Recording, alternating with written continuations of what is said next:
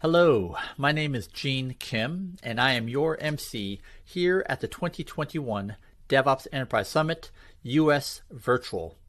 So, this is our fourth virtual conference made necessary by the continuing global pandemic. But I am so happy that you're here because we've created an amazing program for you that you will get to experience over the next three days. So, along with the program committee, we strive to make each event our best event yet, and I genuinely believe that this will be our best ever. I believe this because I have been editing all the talks, watching them over and over, and I am so excited to share with you what we have put together. I think it's something super special and will be an amazing break from all the endless video conference calls that we've all been stuck on for the last year and a half. So, this morning, I will go over what our goals are, both at the highest level in terms of our programming objectives, and also how we've continued to evolve this online format uh, based on lessons that we've learned over the last three virtual events. And so each year, starting all the way back in 2014, I start by asking the question, why are we here? And each year, it looks pretty much the same. We believe that DevOps is important. We believe that DevOps creates genuine business value. We believe that DevOps makes our work humane, and we believe that DevOps unleashes everyone's creativity and problem solving potential. In short, as John Smart says, it, we create better value sooner, safer, and happier.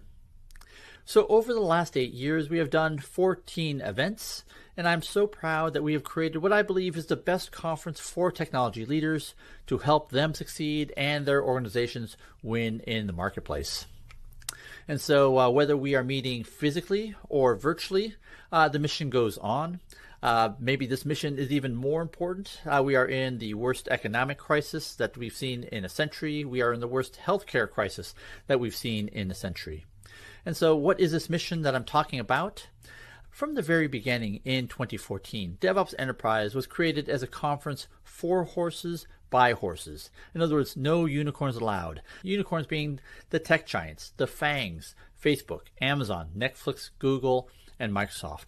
Instead, DevOps Enterprise was intended to be a conference for horses by horses. Horses as defined by large complex organizations that have been around for decades or even centuries and I am so delighted that over the last eight years, over 500 enterprises have presented, spanning almost every industry vertical banking, insurance, retail, sportswear, manufacturing, defense, entertainment, media, healthcare, and government services.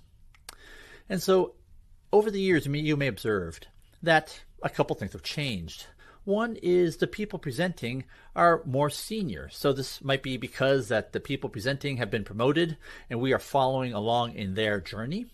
But also we're attracting more and more senior executives because our work matters to them. We've encouraged uh, over the years presenters to co present with their colleagues from audit, security, and compliance. We've encouraged them to co present with their business counterparts, and we don't want their counterparts who are just tolerant of them. We want those business leaders who say that all their dreams, goals, and aspirations have come true because of the amazing work done by their technology leader counterparts. So, over the years, we've heard from CIOs, CTOs, CFOs, chief product officers, line of business leaders, uh, and CEOs. And so, someone asked me two years ago, what are my specific goals around the programming?